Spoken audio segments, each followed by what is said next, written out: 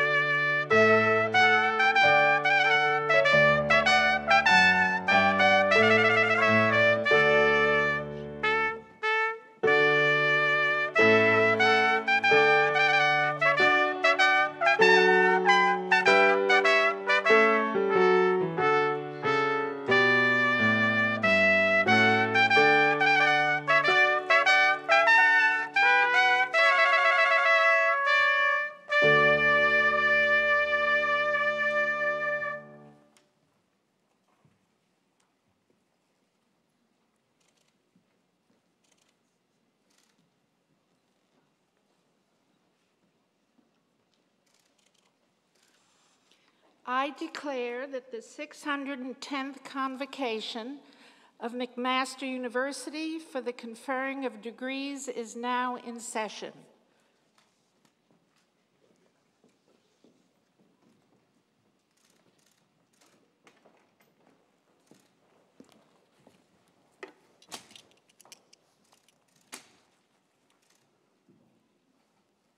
Please be seated.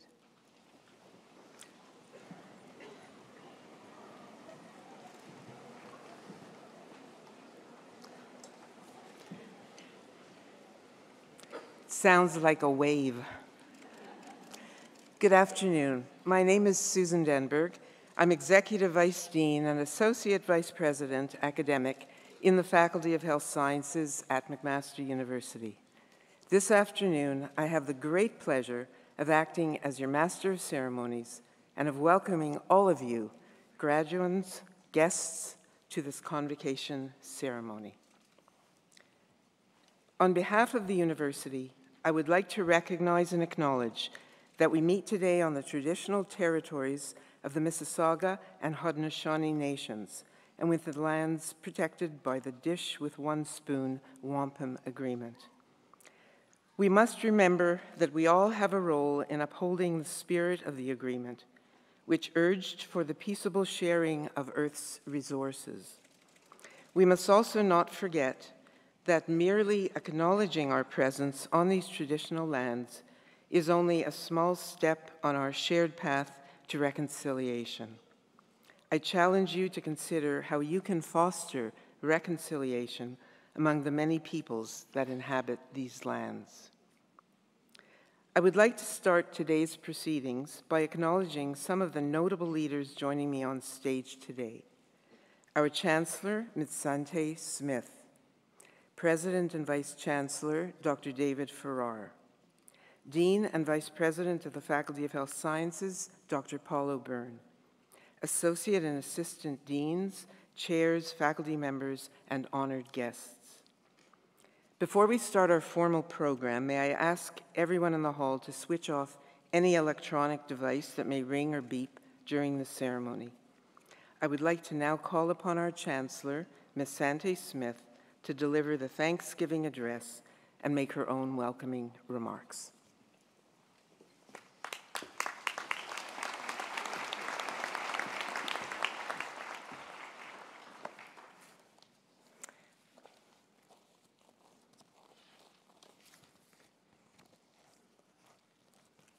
Sego, Sewaguego, greetings everyone. Watquinu welcome, honored guests, staff, faculty, families, friends, and most importantly, graduates.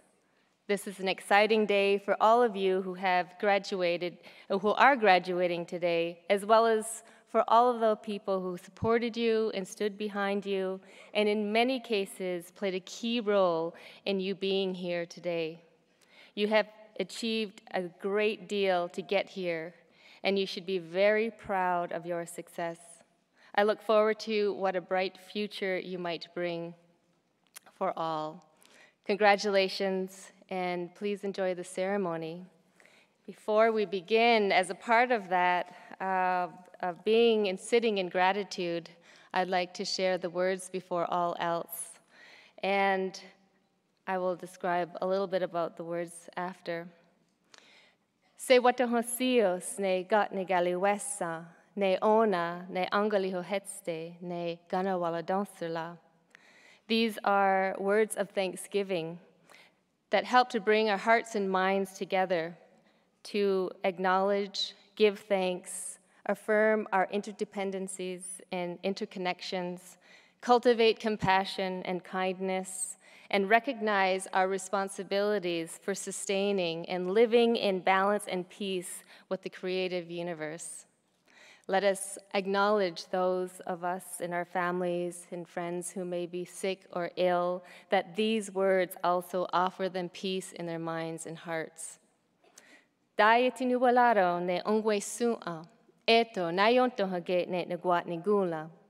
We give greetings and thanks to the people our ancestors, our family, and friends, so be it in our minds. Dayetinu walaro ne yetinu stoha johon jade, eto na yontohage ne nagwatni gula.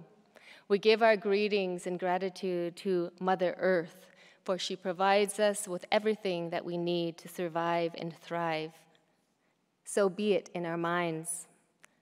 Dayetinu walaro ne gane galunyo, eto na yontohage ne naguat nagula. We give thanks to the waters, from the oceans to the streams, to the waters flowing in our body. Water is life, so be it in our minds. Daieti nuwalaro ne gont junk su'a, eto na yontohage ne naguat nagula. We give thanks to the fish life, who help to purify the water and provide us with nourishment so be it in our minds. Daiti nuwalaro ne eto nayonto hage. We give thanks and greetings to all of the plants, from the grasses to the medicines that help to purify and strengthen our bodies. Now our minds are one. Ne on jit no wasua eto ne. We give thanks to all of the insects who help to pollinate the plants, so be it in our minds. Daeti nuwalaro ne John Hekwa, eto nayonto hage ne nagwat nigula. We give greetings and thanks for all of the sustenance foods, so be it in our minds. Daeti nuwalaro ne wahyariunta, eto nayonto hage ne nagwat nigula. We give thanks to all of the fruit life who help to nourish our body. So be it in our minds.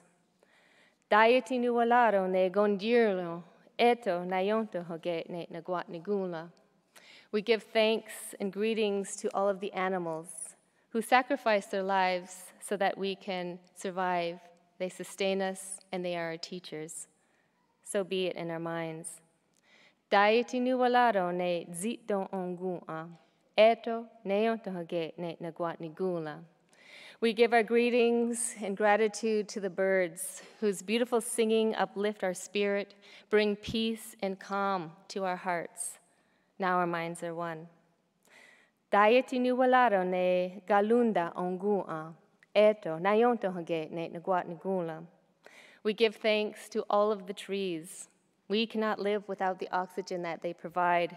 Their roots and sap provide nourishment and cleansing for our body so be it in our minds.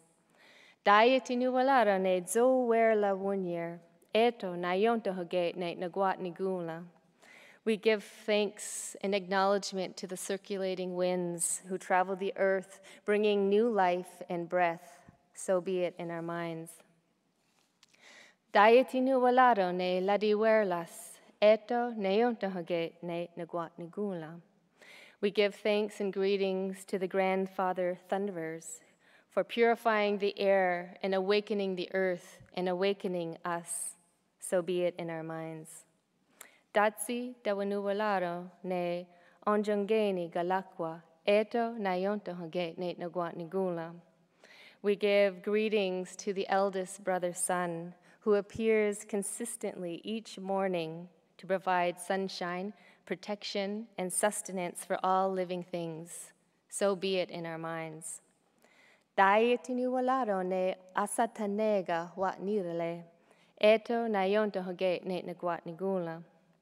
We give thanks and greetings to our grandmother Moon for her powerful pull on our waters and her connection to birth. So be it in our minds. Daitiniwalaro ne yo zi sto war lunyo, eto na yonto hoge ne naguat nagula. We give acknowledgement and greetings to the stars and to the cosmos for providing us with guidance and direction. So be it in our minds. Dayatinu walaro ne deo kiyadado, eto na yonto hoge ne naguat nagula. We give thanks to our protectors, our spiritual guardians, who provide clarity of mind and provide peace to our hearts. Now our minds are one. Datsi dawanuwalaro ne sungwayandisam, eto nayontohage ne naguat. We give greetings to all of creation, the Great Spirit, the creative energy that lives in everything and everywhere. So be it in our minds. Da eto ni gawanage. Da eto. Nyawe. Thank you for listening to those words that give us context that aims to unify our hearts and minds in humble acknowledgement of the immensity of the creative living universe, which we are a very small part of. It provides us with daily context of our interdependence and responsibilities in upholding balance, care, and gratitude. We are grateful to be here today in acknowledgement and celebration of all of your achievements, especially through the challenging times of the pandemic. Let us all honor the work that has been done. Congratulations. Please enjoy the ceremony.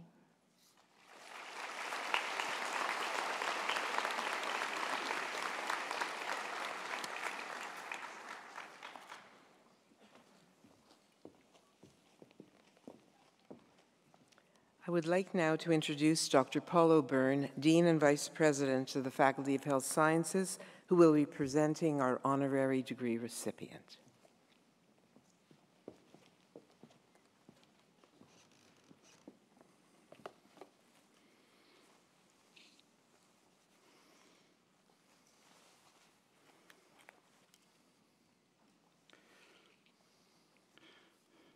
Chancellor Smith, by the authority of the Senate of McMaster University, I have the honor to present James Jimmy Volmink.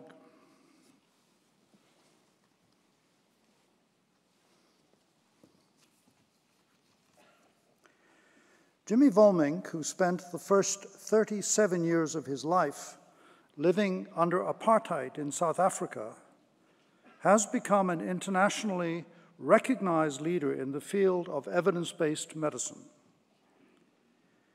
A longtime professor in the Department of Global Health at Stellenbosch University in South Africa, he served as Dean of the Faculty of Medicine and Health Sciences from 2011 to 2021.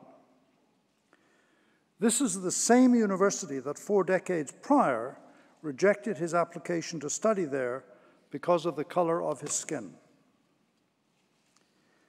He was also the founding director of the Cochrane South Africa at the invitation of the South African Medical Research Council, and he guided Cochrane South Africa to become a leader in the promotion and proliferation of evidence based medicine in order to make more healthcare decisions based on reliable evidence rather than tradition or opinion.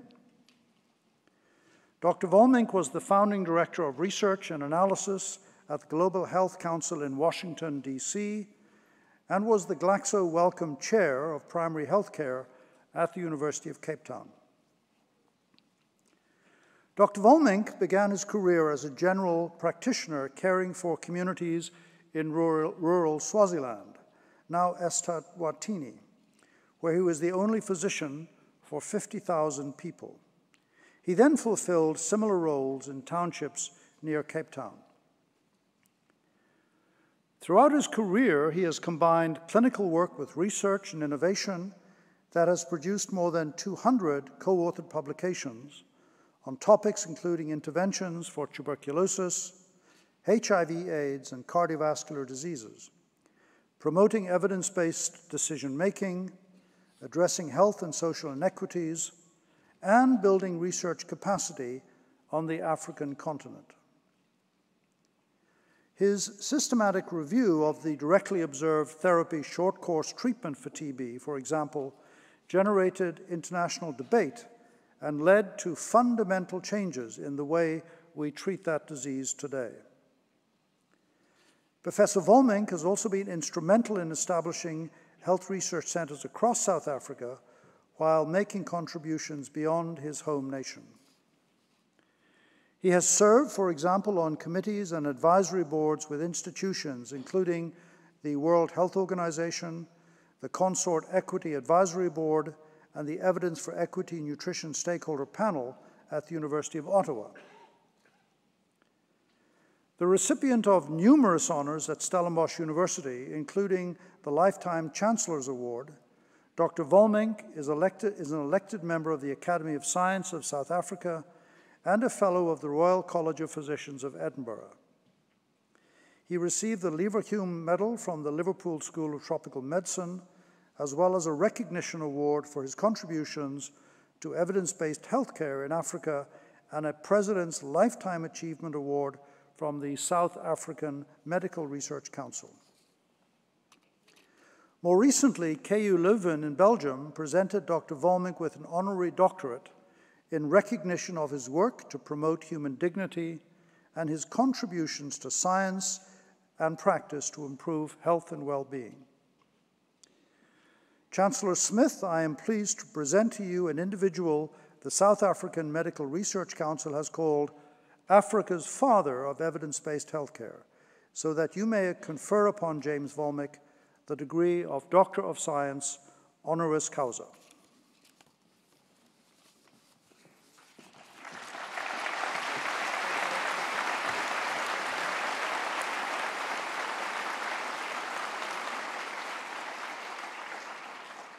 Jimmy Volmink, by the authority of McMaster University Senate, I have the great pleasure to confer upon you the degree Doctor of Science honoris causa in McMaster University with all the rights and privileges pertaining to that degree.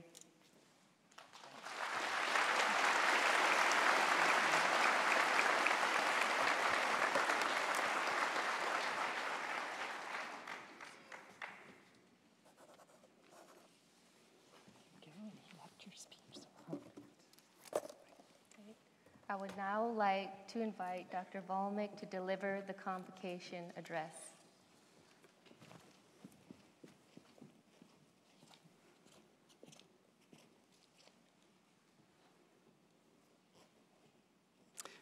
Madam Chancellor, President Farrar, honored guests, graduates, family, and friends, I bring you warm greetings from South Africa and my home institution, Stellenbosch University.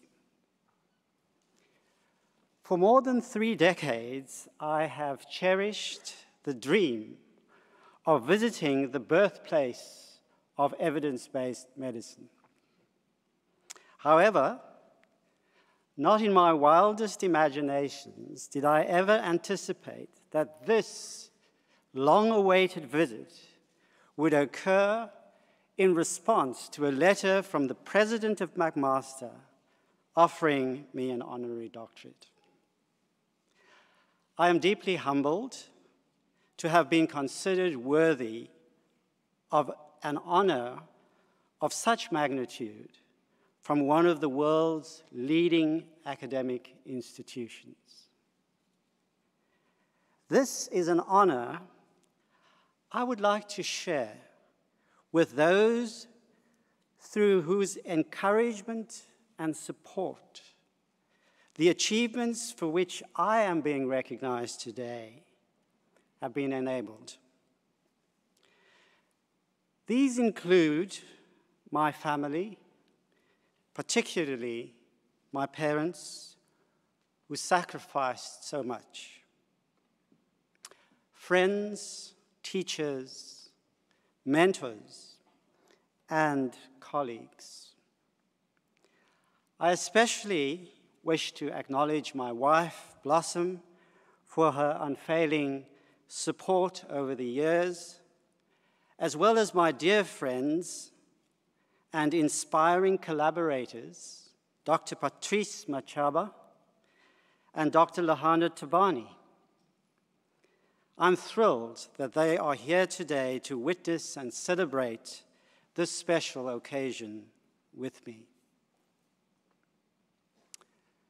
Now to the graduates. Graduates, this is, of course, your day. Congratulations on your success.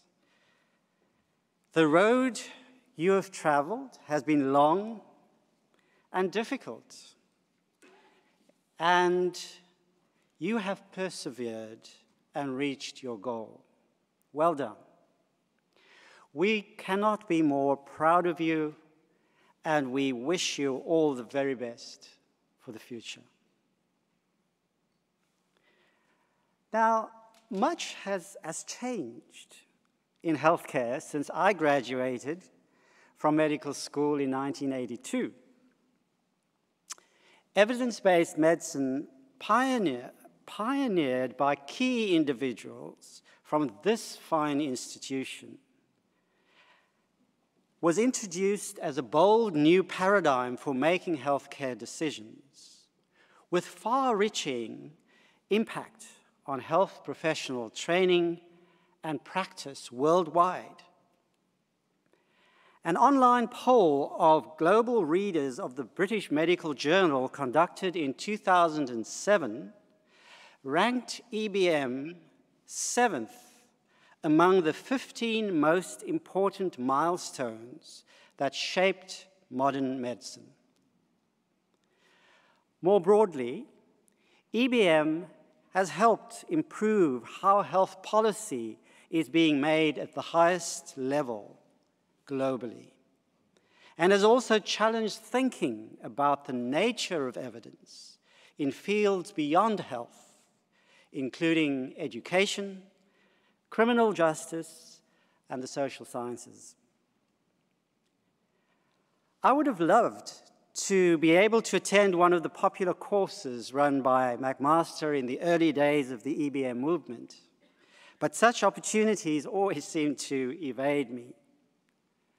However, I, I did make a special effort to soak up as much of the relevant literature appearing at the time and occasionally had the privilege of listening to some of the great EBM trailblazers speak at international conferences. They were all impressively bright people and gifted communicators. But most striking of all was the way these attributes were intertwined with other outstanding qualities, such as humility, inclusion, and a generosity of spirit, which promoted teamwork and collaboration. During the ensuing years, I came to know subsequent cohorts of colleagues from McMaster and witnessed the same combination of ad admirable characteristics I had first seen in the founders of EBM being reflected in many of their proteges. This often brought to my mind the words of the late, great Nelson Mandela quote, a good head and good heart are always a formidable combination. But when you add to that a literate tongue or pen, then you have something very special. Beyond EBM, enormous advances in the, the biomedical sciences have, of course, also taken place since I left medical school. We now have a better understanding of biological processes to which McMaster has contributed. And these have led to new insights into disease mechanisms and a substantial expansion of the scientific armamentarium for fighting disease. As newly minted healthcare professionals, you will have at your disposal increasingly sophisticated knowledge, technologies, and skills for research and practice. The omics revolution, big data, 3D printing, point of care diagnostics, artificial intelligence, robotics, and brain computer interfacing, to name but a few, offer exciting possibilities for improving health and extending the lifespan. Given this exciting progress in the medical and health sciences, there couldn't be a more exciting time to be a healthcare provider or medical scientist. And yet, there remains a question that lingers. How do we ensure these wonderful new scientific and technological developments will benefit those most in need of care? In this regard, it is perhaps fitting to recall an important debate from back in 19th century Germany. Robert Koch had discovered the bacterium causing tuberculosis, which provided early evidence for the validity of the germ theory of disease. For this finding, he received a Nobel Prize in 1905. At the time, it was widely believed that through this new discovery, TB would soon be consigned to the ash heap of history. All that remained now was to develop a new TB, TB vaccine and effective drugs for treating the disease. Both have been available for almost a century. That was the one half of the debate. The other side was represented by Rudolf Virchow, an eminent scientist in his own right who in later years came to be recognized as the father of modern pathology. Virchow felt that the germ theory oversimplified the causes of disease, diseases such as TB. Instead, he believed in the preeminence of social conditions of living as the basis of much ill health. One of the remarks Virchow is remembered for is the following quote, physicians are the natural attorneys of the poor, and social problems fall to a large extent within their jurisdiction. He also said, if medicine was really to accomplish its great task, it must intervene in political and social life. So, how did the medical establishment of the day respond to Virchow's insights? Well, he got banished from the Charité, the famous academic hospital in Berlin, where he conducted much of his research and did his teaching and practice. Today, I ask myself whose arguments have stood the test of time? Is it Koch's or is it Virchow's? I leave the question to you to ponder on. What I can do is offer you some facts about tuberculosis in 2022. According to the World Health Organization, TB still ranks as one of the top infectious disease killers globally, with an estimated 10 million cases and 2 million deaths worldwide. Almost all cases and deaths from TB occur among poor and marginalized people, mostly in low and middle income countries. Now, friends, I am a member of the first generation of my family to have completed high school. And although I've enjoyed some extraordinary educational opportunities and privileges, I have not forgotten the indignity of growing up in poverty. It has therefore always bothered me that so many people today are still being deprived of the education, the living conditions, and the health care they need to enjoy good health and well being. And they continue to be robbed of a fair chance to realize their full potential, despite often having brilliant talent. Current economic trends demonstrate increasing differentials in income and wealth globally.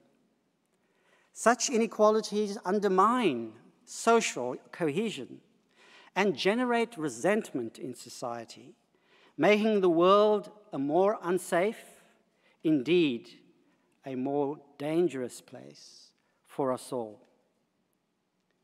Social and economic inequalities also drive disparities in health and well being and determine the quantity and the quality of health care people receive. And here's the thing many of these inequalities are demonstrably avoidable, unfair, and unjust. I believe these issues should be the concern of every healthcare provider. It is our job to promote health and not merely to treat disease.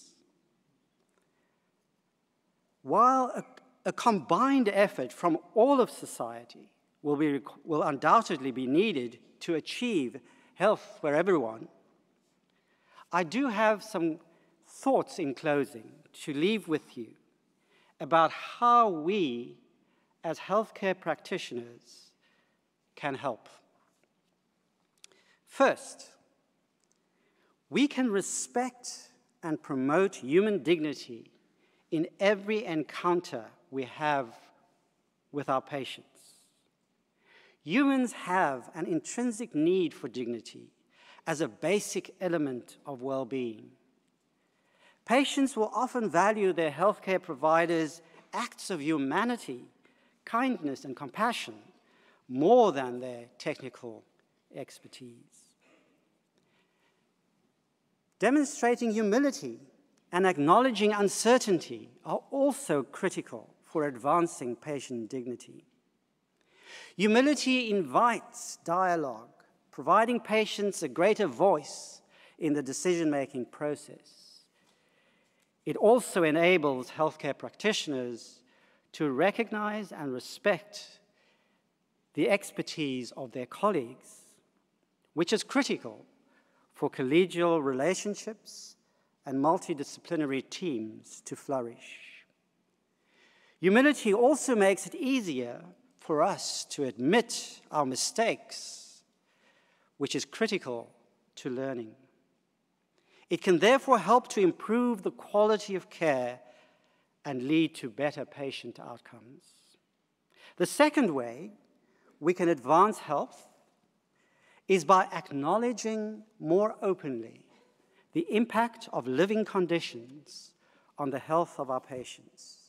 Every day in clinics and hospitals, doctors, nurses, and other practitioners are exposed to human suffering related to destructive social, economic, and political forces in society.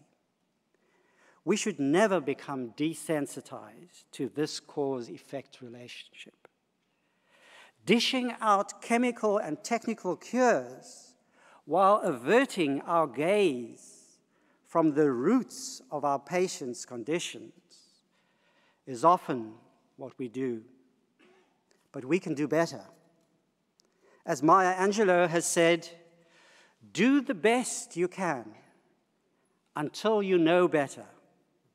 Then, when you know better, do better. The third and final way I believe we can make a difference is through practicing advocacy.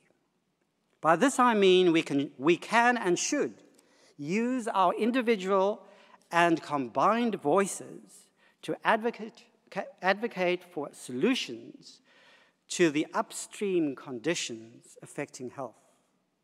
Putting it differently, we can join the fight to improve the living conditions of our patients. As healthcare practitioners, we have enormous social capital.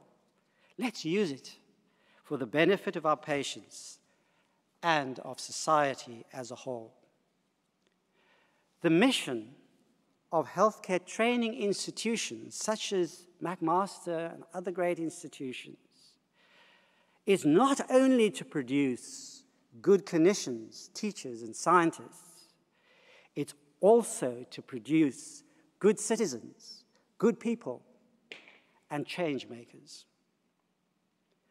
By all means, let us continue to defend the integrity of science.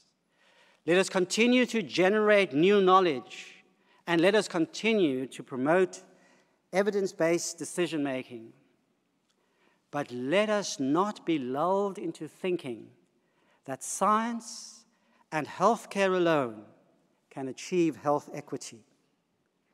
If health is primarily determined by social and economic factors, then advancing social justice is the key to good health. As citizens, we must fight for policies that create more and better jobs, better education, and better living conditions for everyone. We must fight to end gender inequality and racism and other structural inequalities. And we must refuse to allow corporate greed and corruption in any shape or form to continue unchecked. Perhaps the time has come for a new EBM, an equity based movement in, and include everyone in that movement who cares about making our world a better place.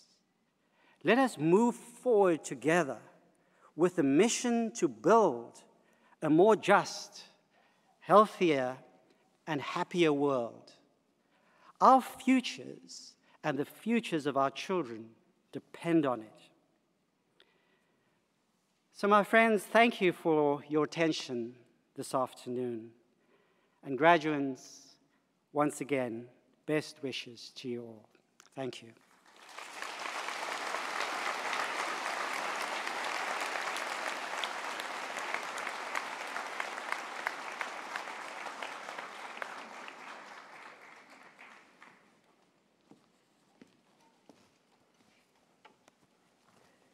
Thank you so very much, Jimmy, Dr. Volmink, for incredibly inspiring words, very timely and I'm sure uh, influential to our graduands.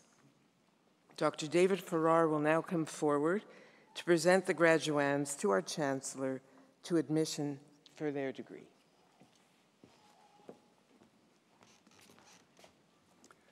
Will the graduands please stand?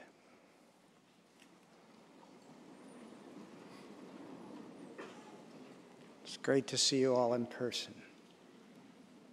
Madam Chancellor, on behalf of the McMaster University Senate, I present to you these candidates and those in absentia in order that you may confer the appropriate degrees upon them, and I bear witness that they are worthy and suitable. Graduands, by my authority and that of the McMaster University Senate, I have the great pleasure to admit to those before me today and those in absentia to their individual degrees at McMaster University with all the rights and privileges pertaining to those degrees. My sincere congratulations to you all.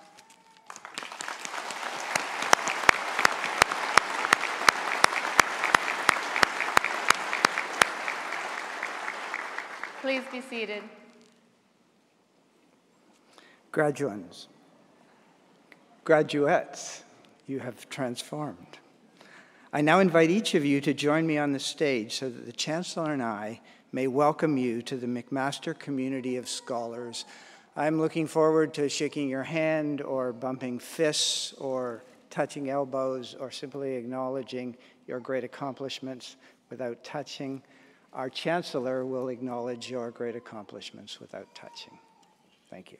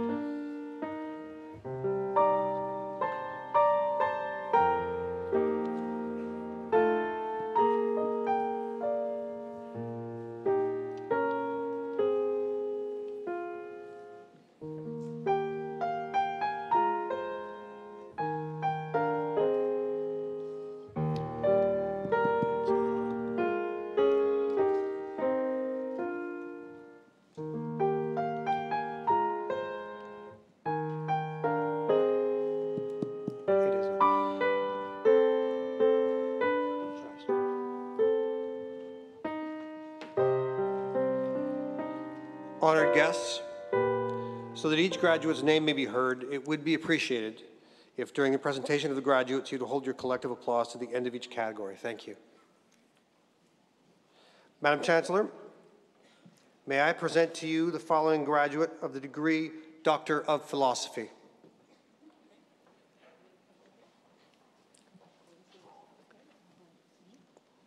Christina Klobuchar.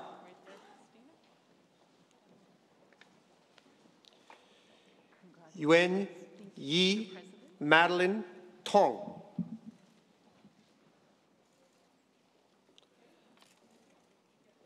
Derek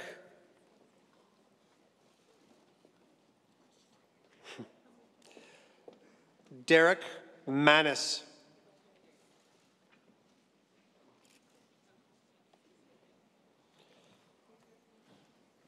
Joanna Colleen Dion.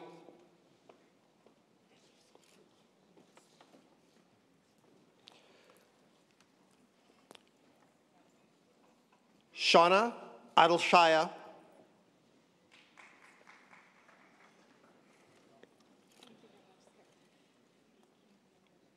Hassam Madarati.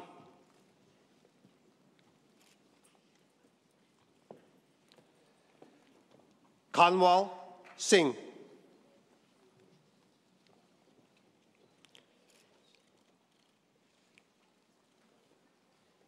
John Ross Verbensky.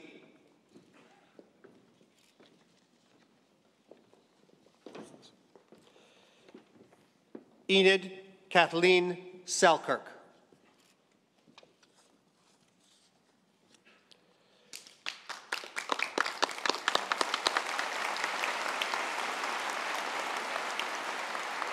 Madam Chancellor, may I present to you the following graduates of the degree Master of Science. Mercedes Ann Di Bernardo.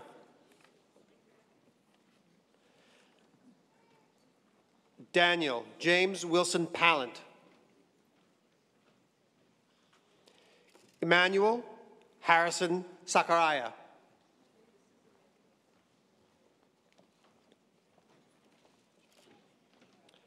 Adriana Tetenic.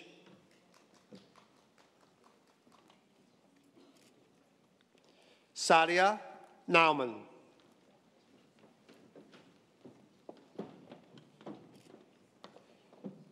Travis Murphy.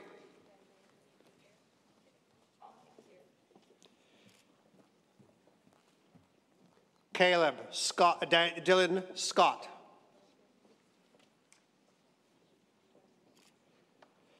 Stephanie Smulski.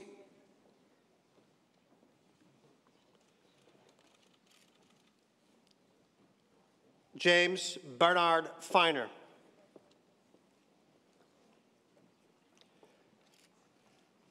Madeline Leopard.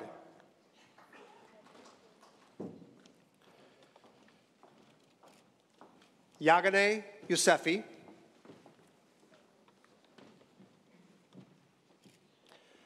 Parabnor Kar Behans.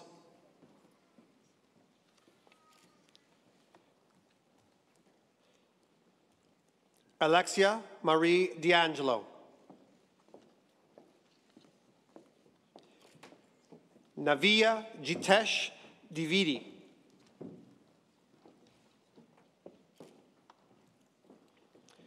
Camille Grieve.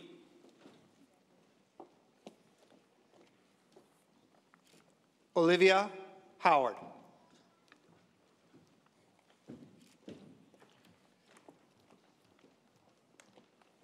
Grace McCaskill.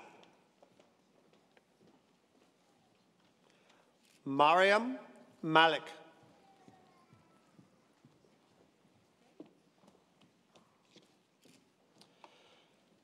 Davisha Persod Maharaja.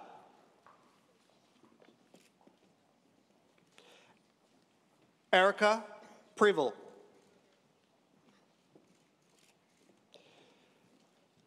Shireen Kaur Rikraj.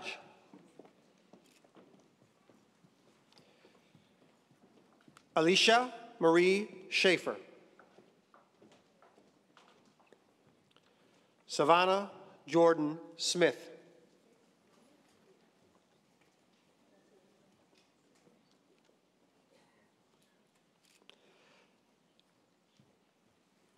Aaron Elizabeth Tatarnik.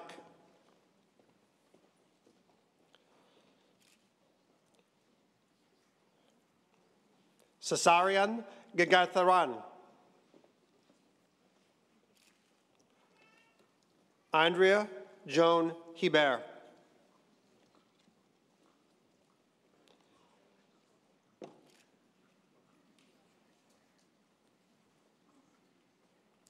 Sarah Wasim.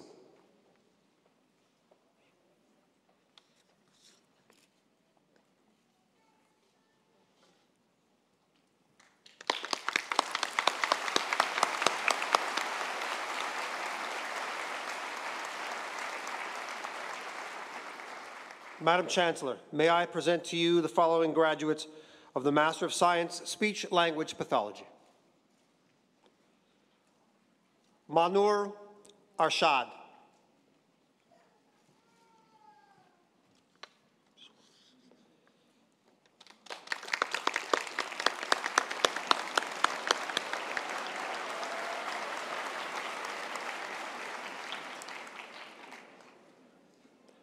Madam Chancellor, may I present to you the following graduates of the degree Master of Public Health.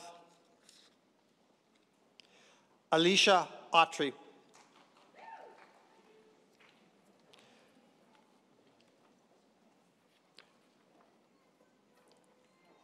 Valerie Christina Bishop.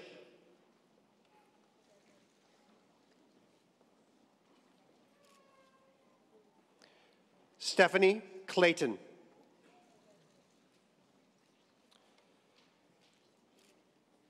Isa Jalil.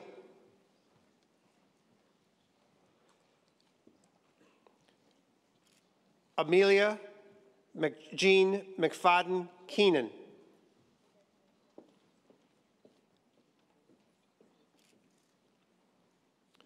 Alyssa Vasilka Kostopoulos.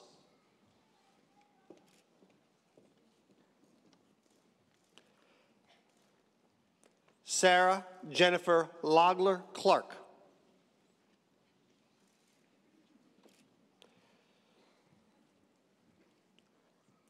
Yaha Yakeo Mahmoudi.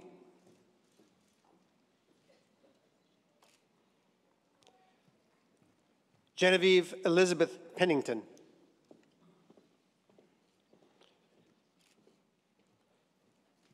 Jacqueline Natalie Rinchima.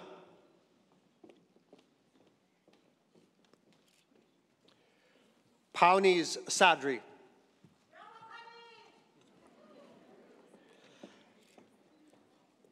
Erica Nicole Stone.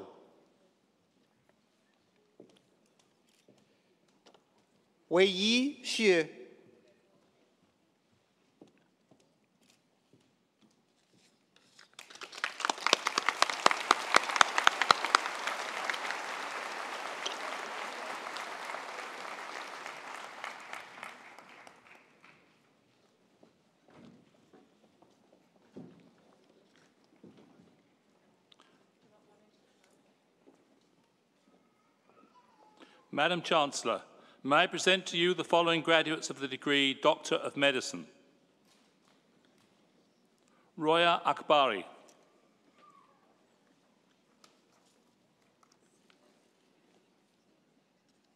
Tahlich Amir.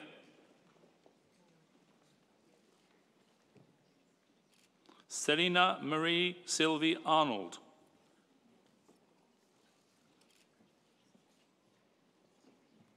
Zachary Barkhouse.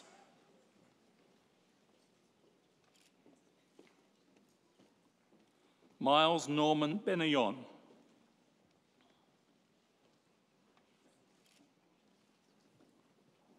Cynthia Chan.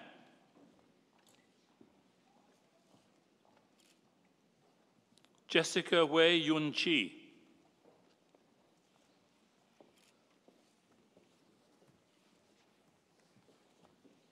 Jordana Compagnone.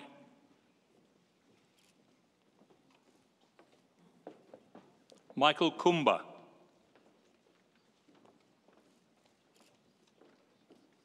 Jasmine Emily Ann Cunningham.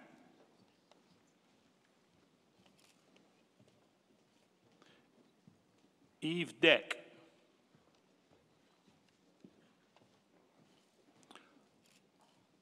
Michael Thomas A. Dennis.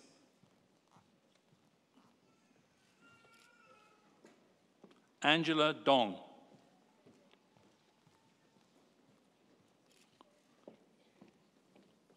Victoria Forcina.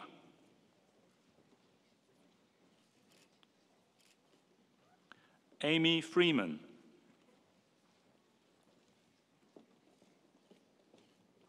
Mark Grinberg.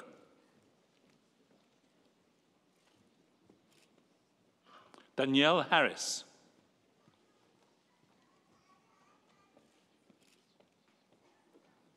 Alexandra Hillebrand. Stephanie Johnston.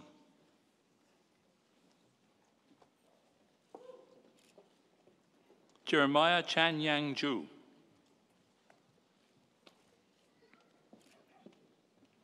Shamez Katra.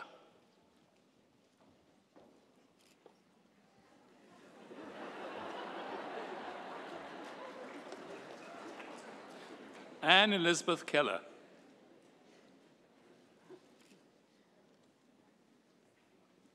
Gavinjit Singh Clare.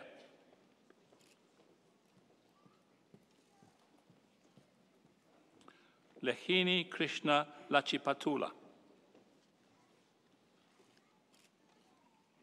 Sojeong Lee.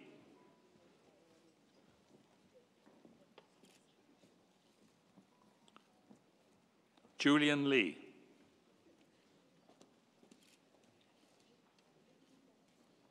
Sabrina Lin.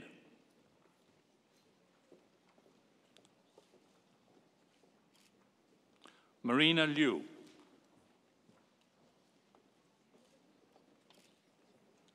Jane Luft.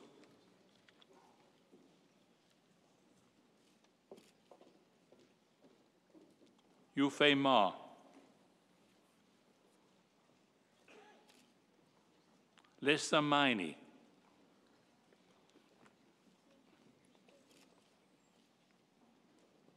Grace Martin.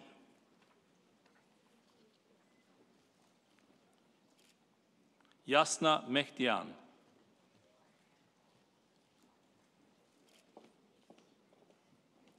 Alexandros Muratidis.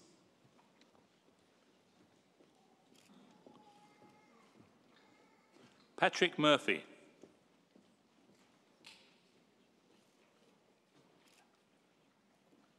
Puru Panchal.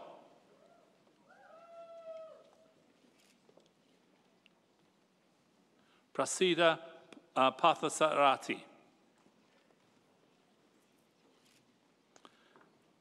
Christopher Anthony Povolo.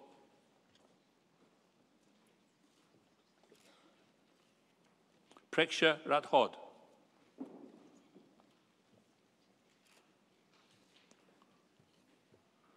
Angelica Rivas.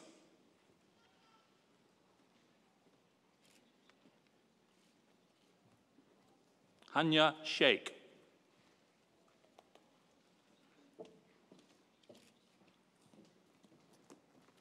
Maz Shanjer.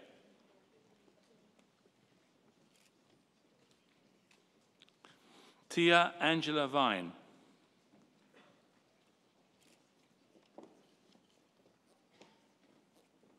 Michael Wu.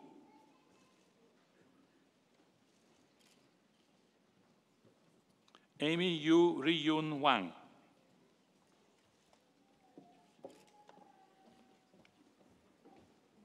Kaiman Shu.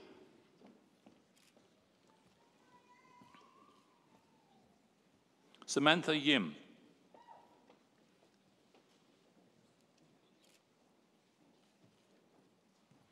Raymond Yu.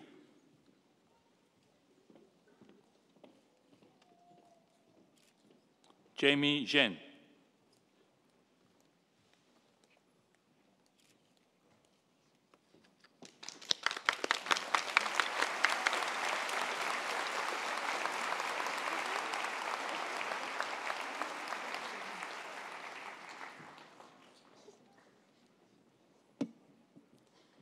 Madam Chancellor, may I present to you the following graduates of the degree Bachelor of Health Sciences, Midwifery.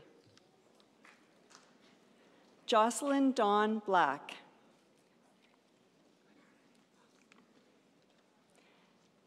Anne Bowen.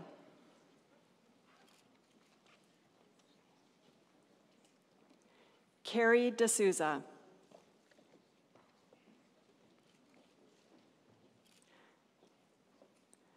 Claudia Di Clemente.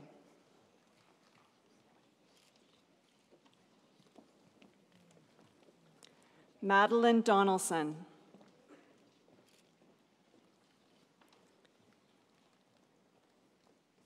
Elise Enns.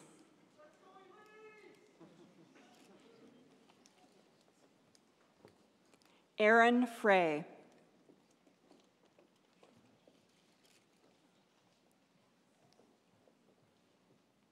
Isabella Giershkova.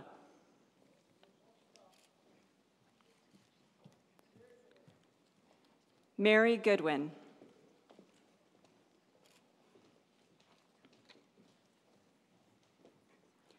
Krista Gowan.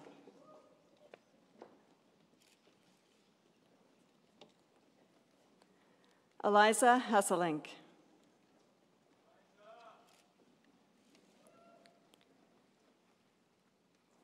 Kirsten Ingram.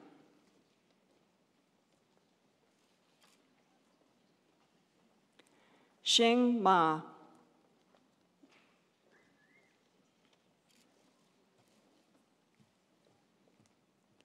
Olivia Marquez.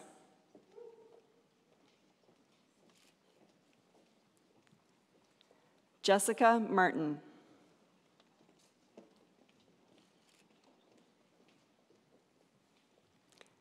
Carolyn Mellon.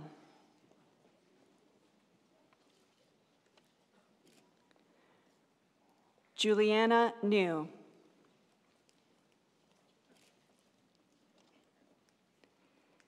Eli Noonan.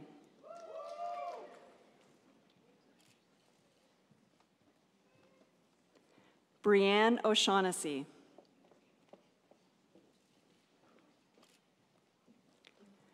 Sarah Pellegrino.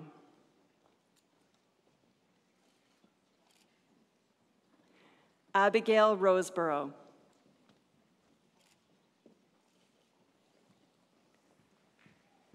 Cassandra Santoni.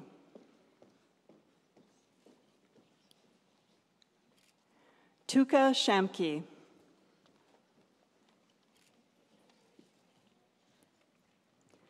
Mackenzie Shaw.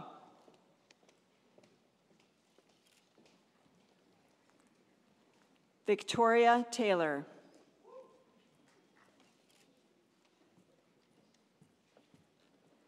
Sydney Segulas.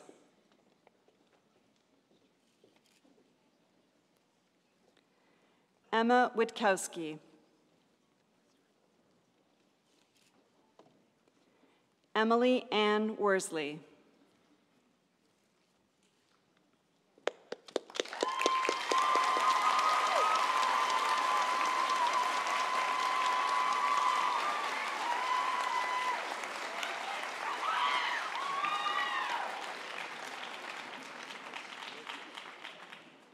Madam Chancellor, may I present to you the following graduates of the degree Honors Bachelor of Health Sciences.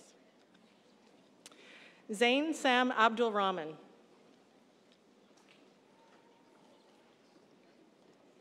Manur Adnan.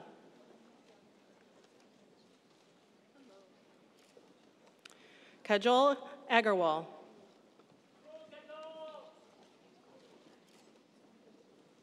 Roshan Ahmed.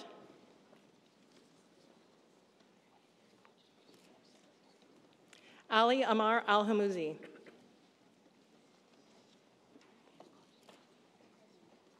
Hisham Al Qasim.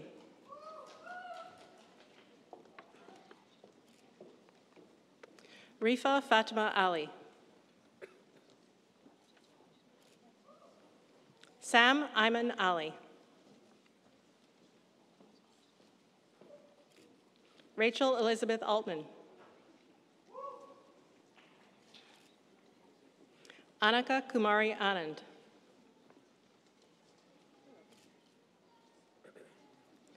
Selena Thanrel Antony. Unaiza Assad Ola.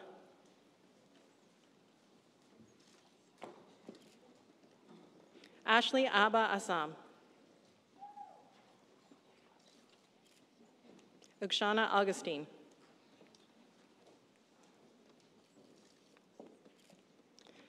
Maria Azab. Dong Ba.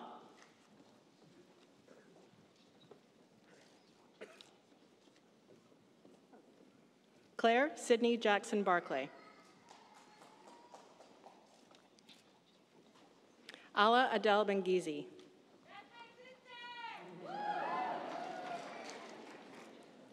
Kurdi Bakhta. Lauren Olivia Birchenough. Benjamin Walker Blackman.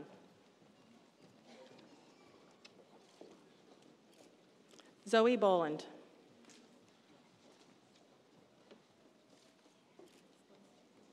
Tristan Cole Bombery. Benjamin Arnold Brakel.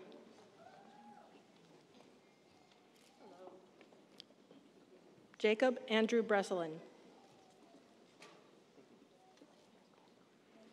Madison Victoria Ann Campbell.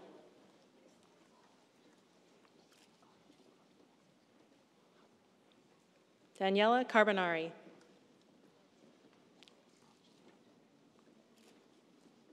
Claudia Carniley. Alisana Kayla Carmona. Denise Bequirin Katakutan.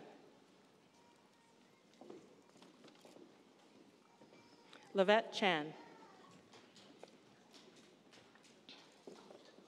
Osman Chang. Alex Chen. Crystal Chen.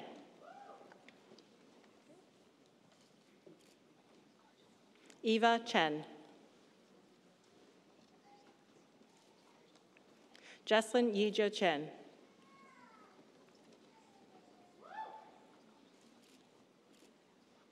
Natalie Shuyu Chen.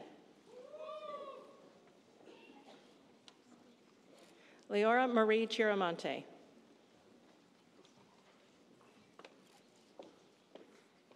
Terry Cho. Esther Chow.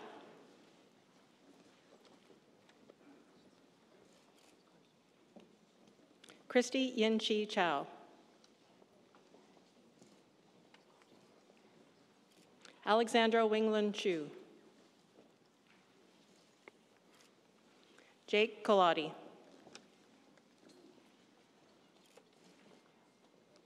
Annabella Cotovio. Danielle Dogger. Sabrina Caitlin Dam.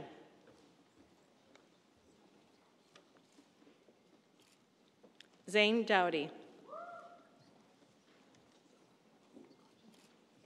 Michaela R. Davies.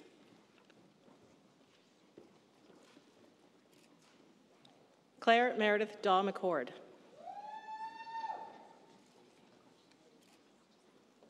Ethiga Namasha da Silva. Danielle Della Libera. Devanshi Desai.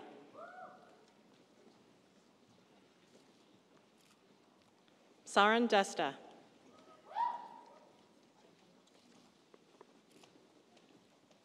Sahaj Kaur Dhillon.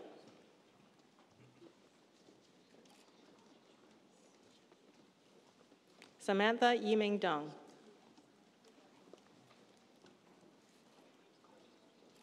Ryan D'Souza.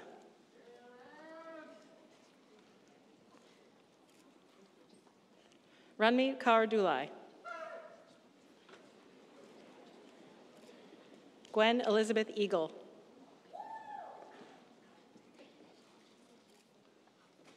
Zoe Lily Elhelo.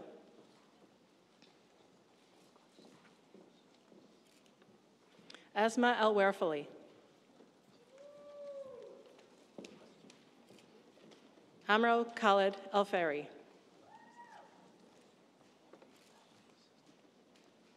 Carly Danielle Endres.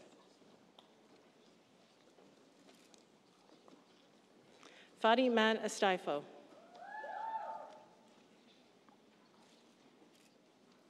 Sophia Anna Farkas.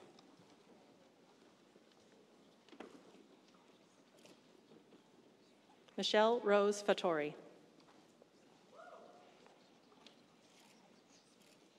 Rusta Fayazi.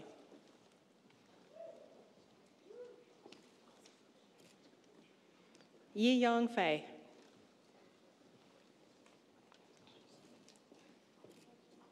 Ron Galiev. Angel Gao.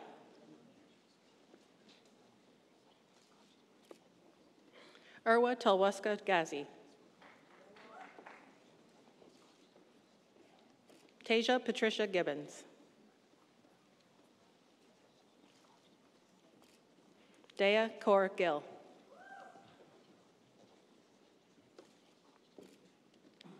Janeska Gill.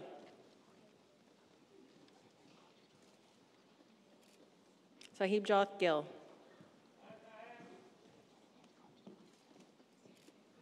Simran Kaur Gill.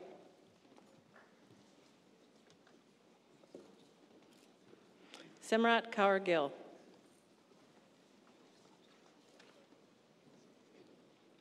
Tyler Jordan Gilman.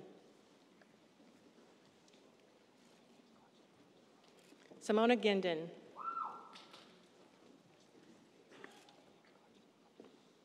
Justin David Giordano.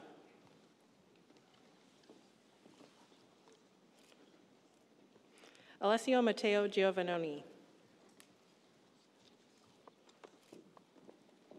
Minwen Gong. Kennedy Marguerite Lockhart Graham.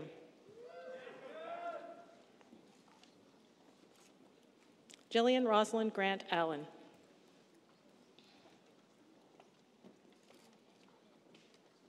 Alexa Isabel Gruber.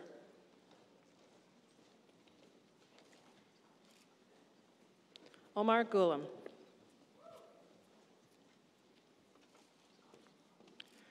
Janani Gunabella Singham. Vipul Gupta.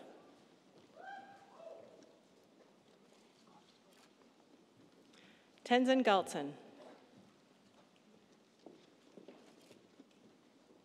Dominic Haas. Julia Ahab Habashi.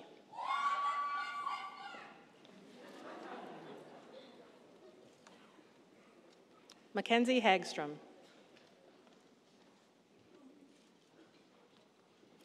Tiffany Gabriella Harianto.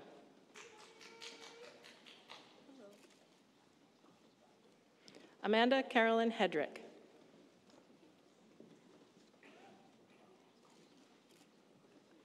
Leah Catherine Heinen.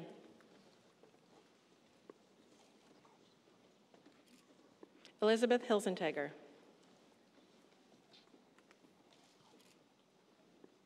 Heidi Young Yi Ho. Brock Kent Horde. Jessica Holmes.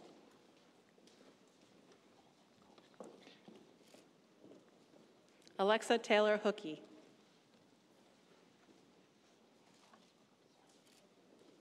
Zarin Tasneem Hussein.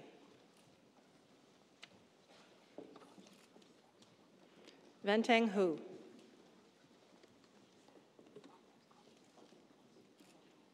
Nicholas Jiaoren Hua.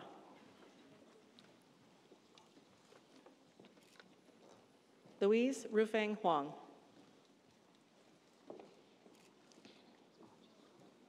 Serena Huang.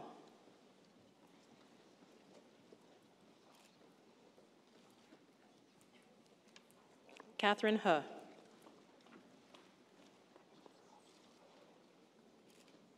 Caitlin Chantal Hui.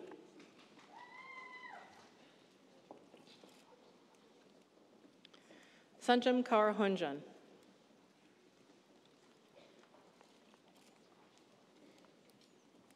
Ellen Claire Huynh.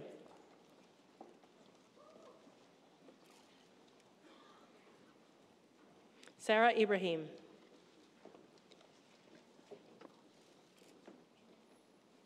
Hamna Imtiaz. Carmina Albertine Tan Isidoro. Basil Issa.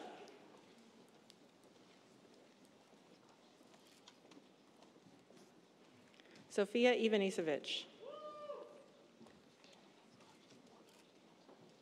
Amanda Jack.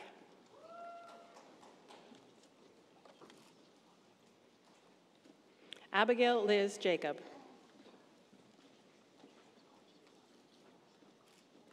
Dia Juti.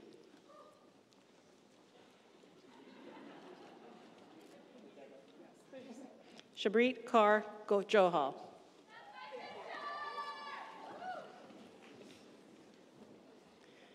Papira Johara Pukar. Zeest Kadri. Yejin Kang.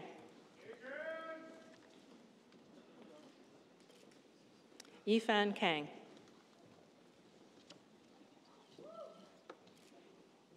Isha Karia.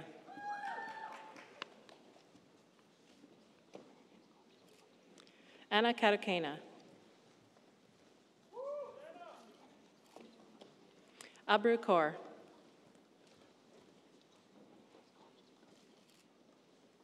Sharuk Khan.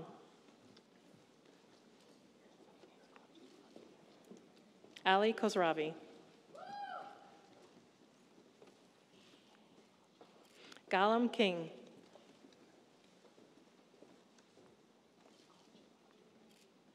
Danya Kohler.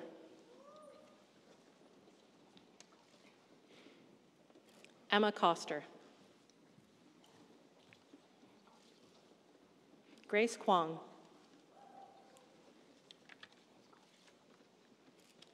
Yak Yun Kwan.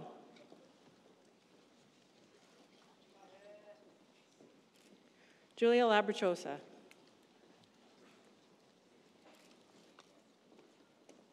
Benjamin Gordon LaRock. Adele Lee. Sharon Grace Lim.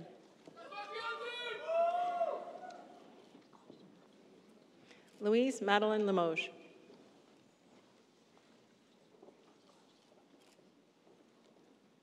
Longshi Lin. Brandon Long Liu.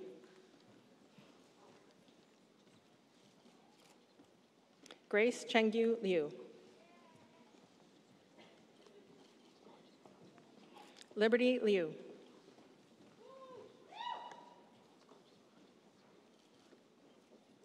Ruth Jia Eng Liu. Chloe Joy Locke.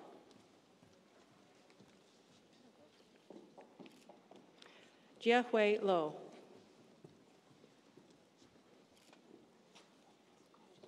Ashley Heron Ma. Sean Joseph Madden.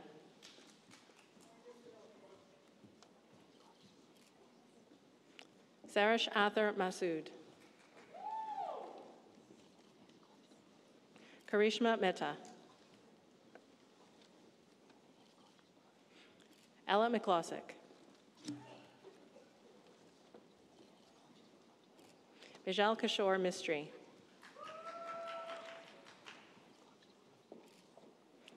Natalie Marie Moncada. Jessica Sylvia Morera. Myron Mitchell Moskalik. Corinne Moss. Gurinder Singh Multani.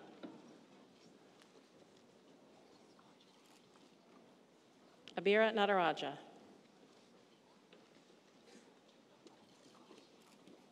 Muhammad Hassan Nasser.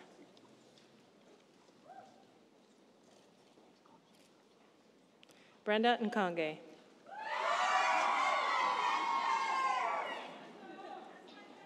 Shelley Palchik.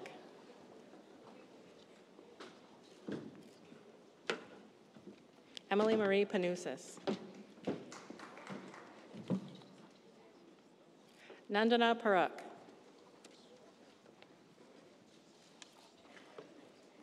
Jane Park. Janil Patel.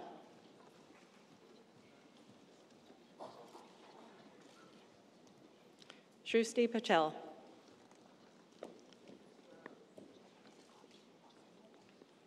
Zeel Ravindrabhai Patel.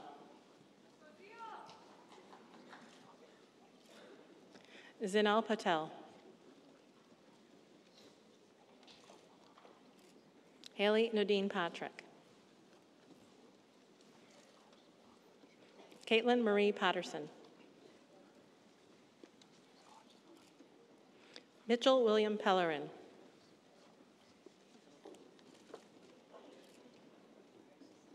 Dinesh Paramakumar. Alicia Petrushikevich.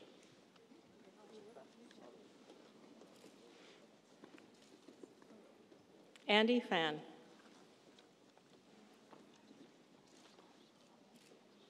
Mariana Q.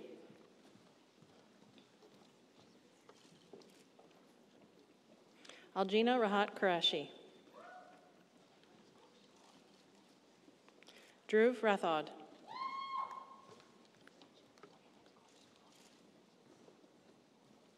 Daniel Rayner. Michelle Marie Dharma Rianto.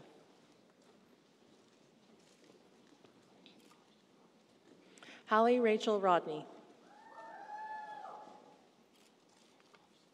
Shauna Patricia Rogers.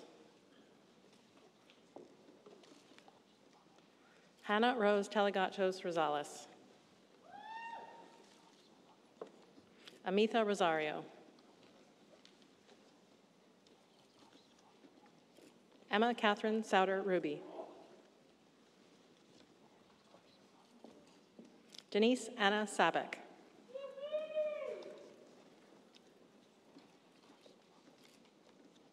Anjali Lord Kaur Sachdeva. Ramika Sachdeva.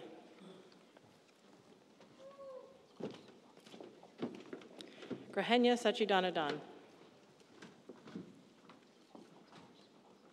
Hadia Salim. Bethel Sampson. Abby Catherine Carolyn Saunders.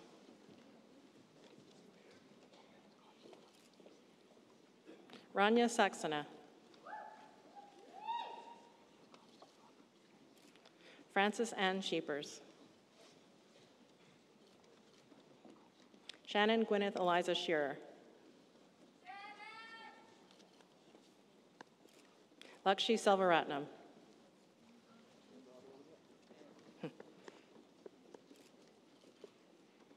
Tyler Alexander Sito. Neha Shah.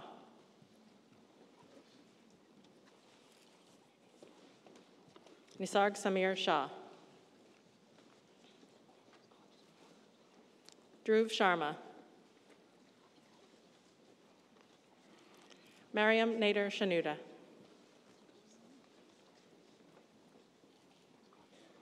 Mahek B. Shergill. Yebin Sheen.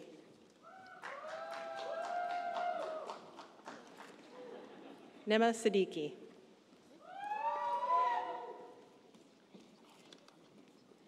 Angad Singh.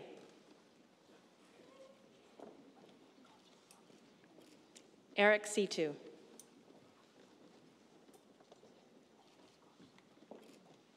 Rachel Jesse Snellgrove. Gina So. Evan James Squire. Varun Srikanth. Jiahui Sun. Divya Lakshmi Tamil Salvan. Tasvia Tasnim.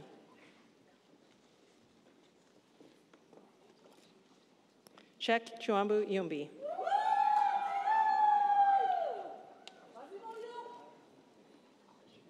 Daniel Christopher Tam.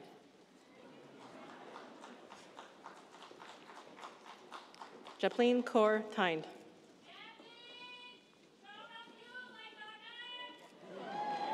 Deepti Tamandram.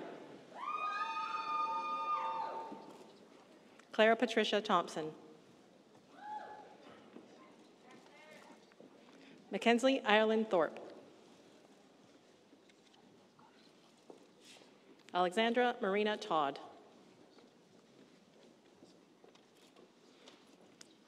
Catherine Grace Toy. Daniel Anthony Tran. Rachel Tu. Victoria Marilyn Tyndall. Amna Usmani.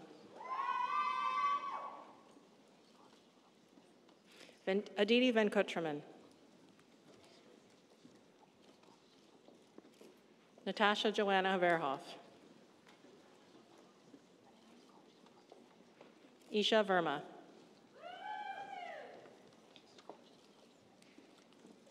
Shangari V- Vijayan Thira.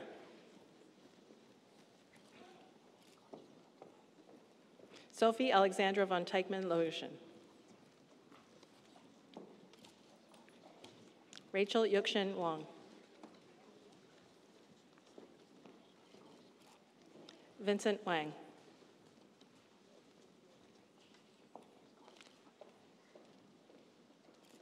Jade Sioyu Wang.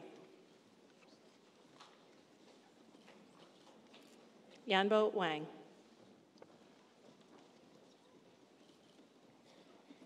Aaron Walter Wen.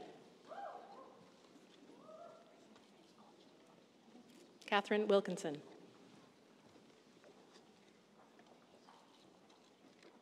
Chi Stephanie Wong. Nicole Charmaine Wu. Karina Yan. Serena Hui Yang. Shuotong Yu.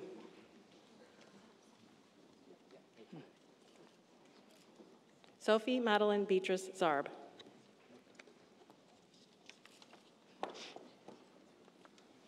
Amy Ji Zhang.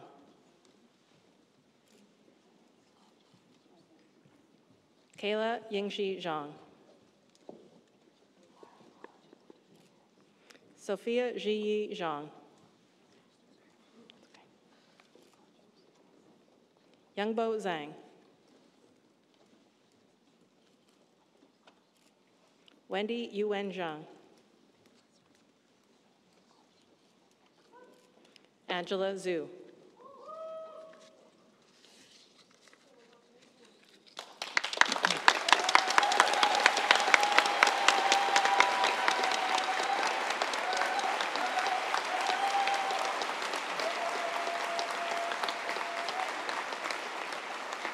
Madam Chancellor, may I present to you the following graduates of the degree Bachelor of Health Sciences. Catherine Lakshmi Bhargava. Marzan Hamid. Karen Chan.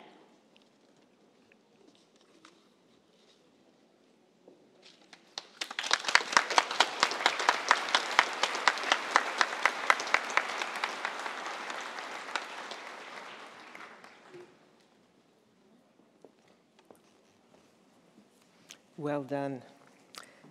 Let's give one more round of applause to the graduates of the class of 2022.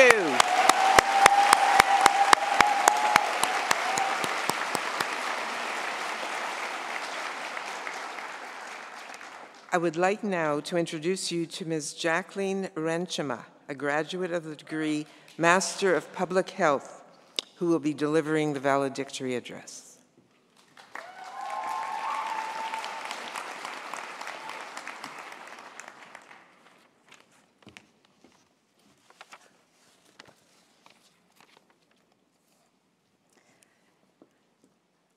Afternoon, Chancellor Smith, President and Vice Chancellor Farrar, Dean and Vice President O'Byrne, university and faculty leaders, and honorary degree recipient Dr. Jimmy Volmink.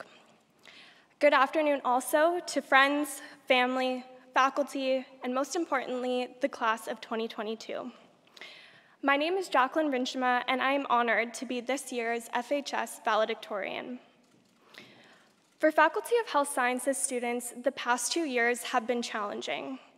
Our time at McMaster University has trained us to critically evaluate and use the best available research evidence to advocate for evidence-based and equitable change in policy and practice.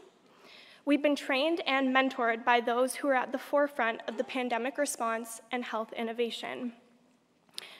But with great knowledge comes great responsibility.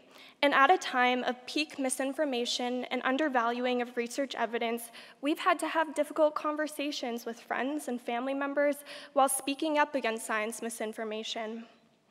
All while working tirelessly on the front lines of a healthcare system under strain, contributing to health research, and advocating loudly for an equitable public health response, even when it seems like our voices are the minority. But FHS students have risen to the challenge.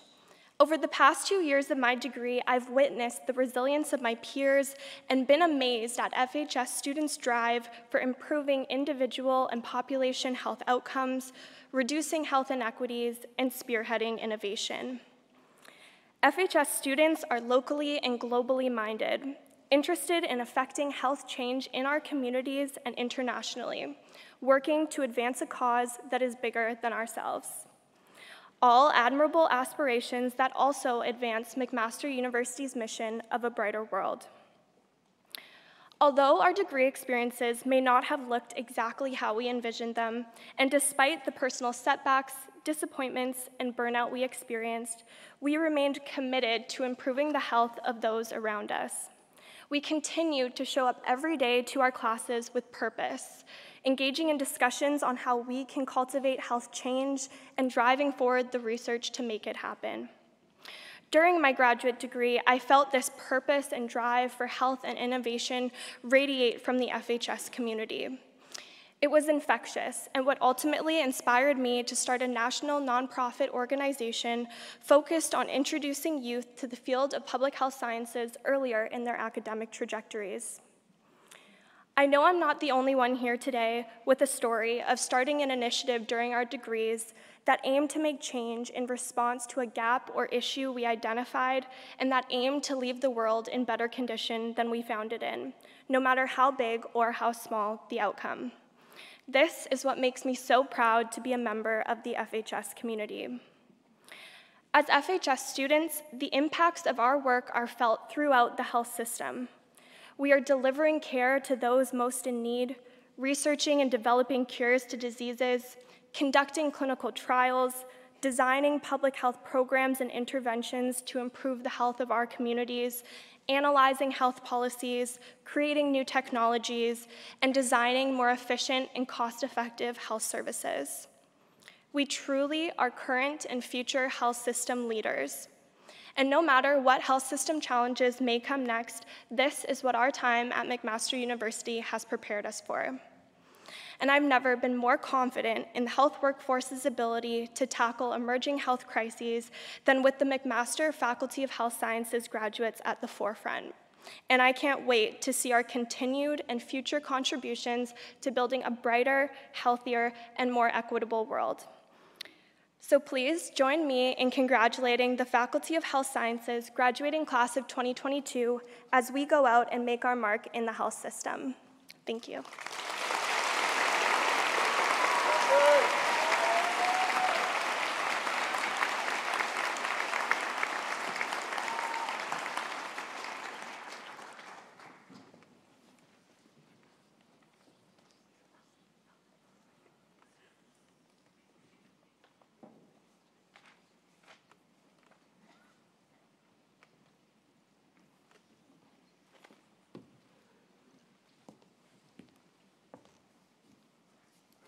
I'd like to invite Dr. Farrar to the lectern to present the President's Award for Outstanding Contributions to Teaching and Learning.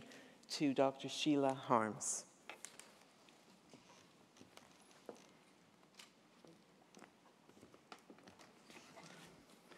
Would Dr. Sheila Harms please come forward?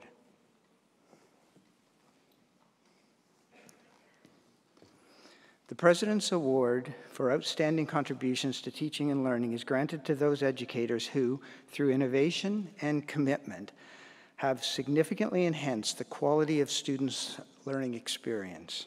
It is my pleasure to present the President's Award for Outstanding Contributions to Teaching and Learning to Dr. Sheila Harms. Congratulations, Sheila.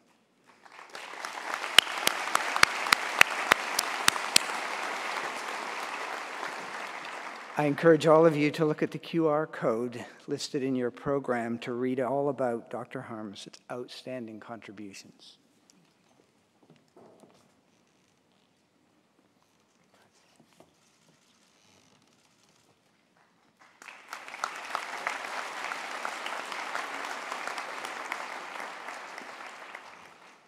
Congratulations, Dr. Harms. I would now like, with pleasure, to call upon the Dean and Vice President of the Faculty of Health Sciences, Dr. Paul O'Byrne, who will deliver the Health Sciences address.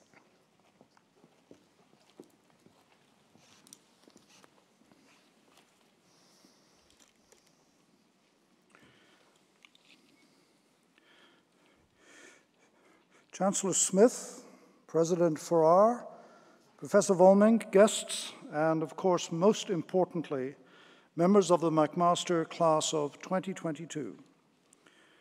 Thank you for the immense privilege of speaking to you this afternoon at Convocation.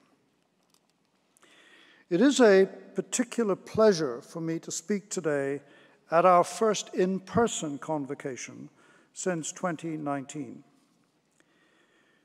It is unnecessary for me to enumerate the many profound impacts that the COVID pandemic has had in every aspect of our lives.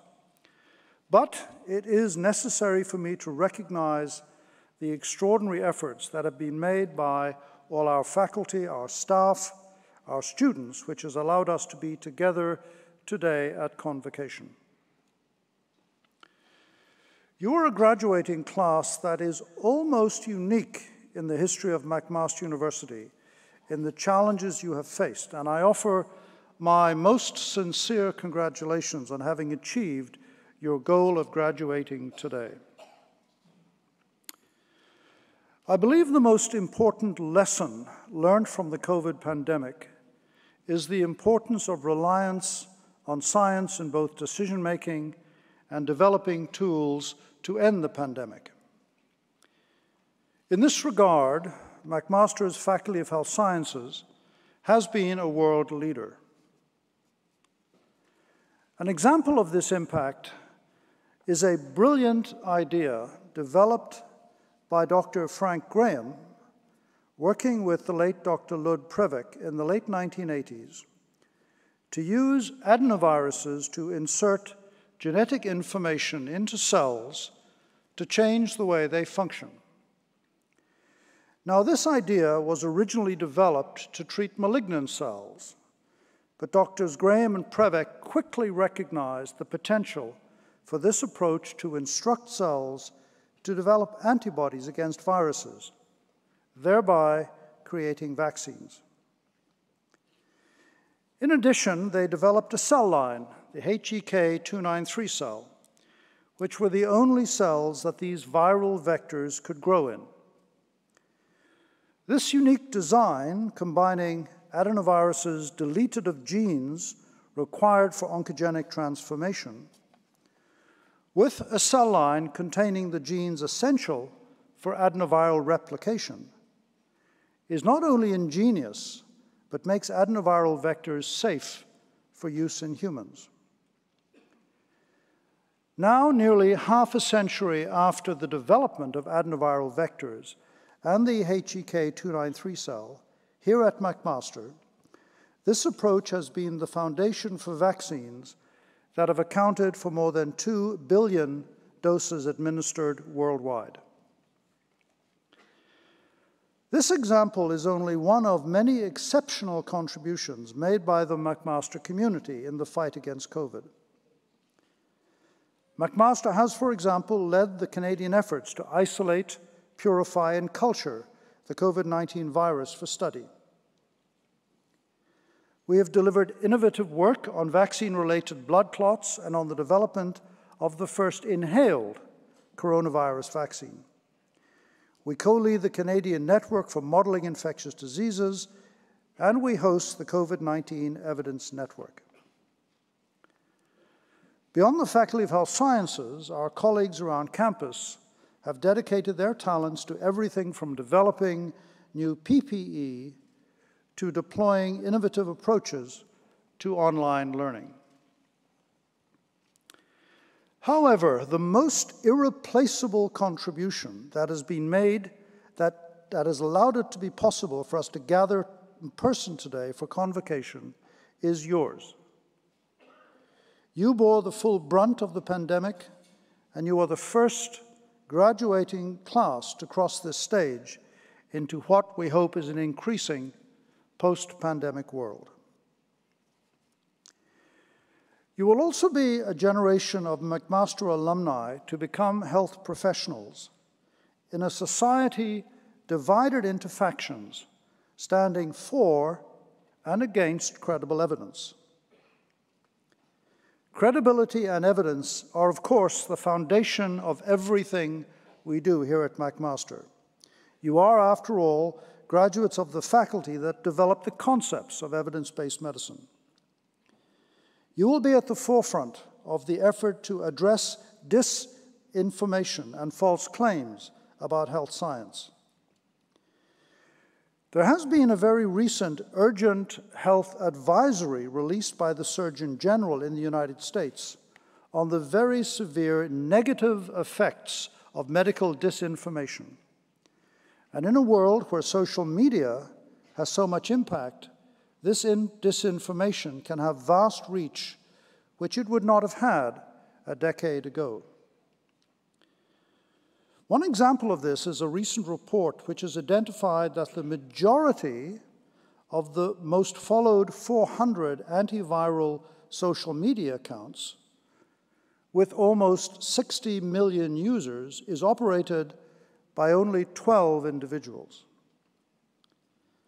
Combating this disinformation is challenging and difficult and can only be done with the confidence in the pivotal role of the very best quality evidence plays in our medical decision making. Today, we justifiably look back and celebrate your accomplishments, but we also know the greatest benefits of your efforts await you in the future. You should have deep confidence in your abilities, your stamina, your agility, and your resilience. You will almost certainly need all these attributes. But this class can look back on its path to graduation with a profound sense of achievement. Now it is time for you to embrace your next challenge. Whatever it is, it will be a challenge for which you are eminently well prepared. This is a special convocation for a unique graduating class. Your McMaster family, as well as your own families, are very proud of you. Congratulations and thank you once again for everything you have endured and contributed to graduate today. Thank you.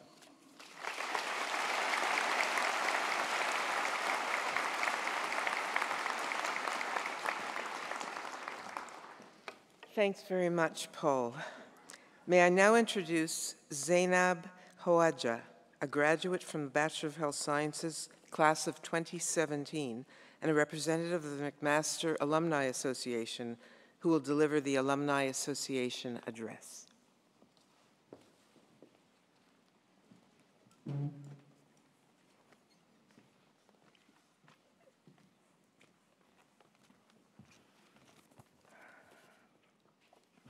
Chancellor Smith, President Farr, award winners, honorees, faculty, fellow alumni, guests, and especially members of the class of 2022. It's been five years since I last stood at this podium at my own convocation, delivering the valedictory address to the class of 2017. A lot has changed since then, and yet my message remains essentially the same connection. When I reflect on my time as a student here at McMaster, what I remember most are the connections I made that remain with me to this day. I remember staying up late with my friends, editing each other's assignments. I remember the times I didn't feel like I deserved help, but it was offered to me anyway with kindness and grace. I remember the mentors who helped me see my own potential and the instructors who offered me extensions without needing detailed explanations. Support and connection are difficult and even scary to find, and that has perhaps never been more true than it is for your cohort during this pandemic. But connection and support are things that we all need, whether we know it or not. Connection reminds us that we are never as alone as we sometimes feel we are. Support helps us grow into the version of ourselves that we want to be, not just the version we feel we should be. Those of you convocating, those of you who just convocated today are the future leaders, change makers, researchers, and healthcare professionals of our society. I hope that each and every one of you is brave enough to ask for help and reach out for connection because you're certainly going to need it as you take on the world's challenges moving forward. And I hope that you always remember that you deserve it. And on that note, I'd like to very subtly segue into talking about some of the supports and connections available to you all through the McMaster Alumni Association. As new grads, you're all members of MAC 10, which supports alumni in the first 10 years after graduation. Whether you need help getting your first job or navigating the next steps in your career, the Alumni Association has an amazing career counselor that I encourage you to take advantage of. There are also countless events, networking opportunities, mentoring, and programming that you can access online from anywhere, live or on demand at your leisure. And as you continue to enter the scary world of adulting, we can also connect you to exciting things like preferred rates on homes and auto insurance, or health, or health and dental coverage. And if your path takes you away from Hamilton, as I imagine many of yours will, there may still be McMaster alumni events nearby. We have Canadian centers from Victoria to Halifax and in international cities around the world. As long as you keep your contact information up to date on your alumni profile at alumni.mcmaster.ca, you'll always be invited and you'll always remain part of this community. When you leave convocation today, hopefully not too long after this speech, I know that I will not be your most significant memory of this day, but hopefully some echo of it will linger in the back of your mind in those moments when you inevitably find yourself wanting or needing connection and support. And whether it's two weeks or 20 years from now, if you ever find yourself wanting to reconnect with, with McMaster, we'll be here, happy to help you along your journey. And so, members of the class of 2022, congratulations and well done on your convocation. We're so proud to welcome you to the McMaster Alumni Association family. Thank you.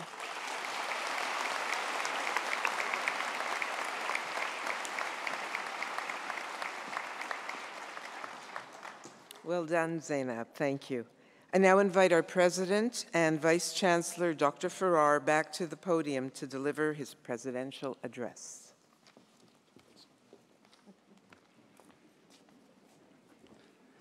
Chancellor Smith, distinguished guests, award winners, faculty members of McMaster community, members of the McMaster graduating class, friends and family. For more than two years, we've dealt with an unwelcome guest in our lives, a global pandemic that has reminded us of how fragile our lives really are and how much we need to be together. Members of the graduating class, for two years, you have worked through the isolation, the disruption, and possibly even health challenges and personal losses created by COVID 19. In spite of the very challenging conditions for completing coursework and other requirements for your degree, you have persevered. And so I want to congratulate each of you for your ability to adapt and thrive and succeed.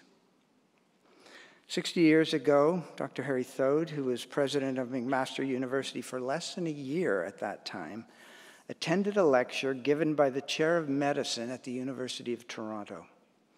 He heard the chair, Dr. K.J.R. Wightman, criticize medical education as being too obsessively rote.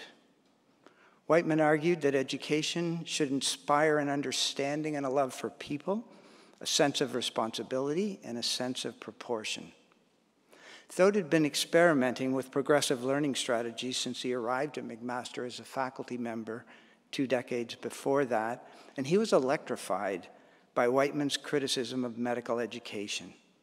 By 1967, Thode's handpicked team of revolutionary medical educators was designing a new curriculum for a brand new medical school. This approach, now known as problem based learning, would, in the words of the historian James Greenlee, reverberate around the world. It was a moment in medical education that earned McMaster a global reputation, and it polished the value and the prestige of every McMaster degree, including yours. There will likely be a time in the years ahead when you'll be struck by an idea, something new or radical, something that others may think is a little crazy. I hope when that time comes that you are ready, as Thode was, to identify the moment and to seize it.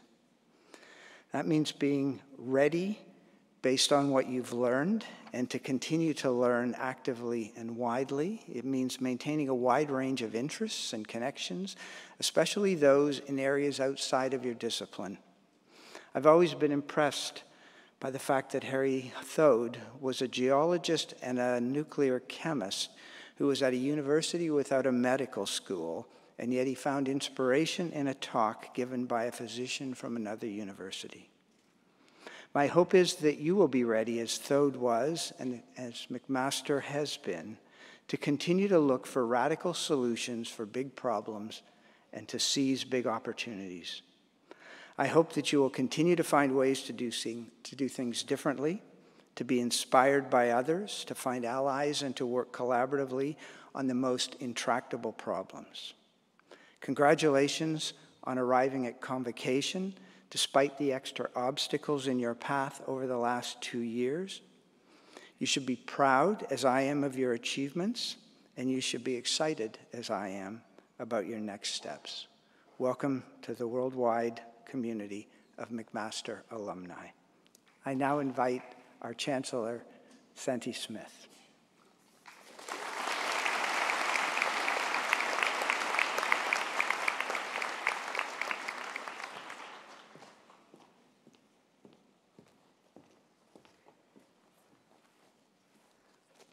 Yahweh, everyone, for your beautiful words and inspiration.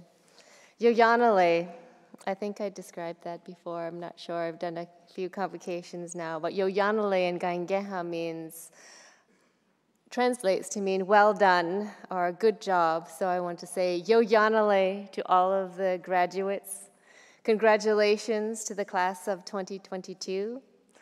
I myself am a McMaster alumna and I look forward to seeing where you go from here. McMaster has a way of keeping us connected and calling us back for different reasons research, collaborations, friendships. So I want to uh, say, please come back and continue to honor those relationships that you've built. And you're always welcome.